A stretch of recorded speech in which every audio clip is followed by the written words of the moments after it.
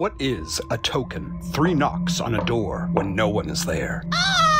A bird flying through a window, a clock suddenly stopping. In Newfoundland and Labrador, these are examples of death tokens. You've heard of this superstition before. Not quite sure that it is a superstition, sir.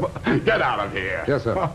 A token is where a person becomes aware through paranormal means that a person close to them has either recently died or that their death is about to occur. Depending on where you are from, this type of pre mortem haunting is known by different names, like a fetch, a forerunner, or a bibe. A fetch often takes a duplicate human form, and while a token is very similar, it may appear in many guises, including strange noises moving lights, or voices calling out as if from a great distance. In Old St. John's, it was a dog moaning at night. A dog has been howling for 48 hours. You know, when a dog howls, it's an omen of death in the neighborhood. Even today, strange premonitions about the death of a loved one remain an aspect of Newfoundland and Labrador folklore that is still very much alive.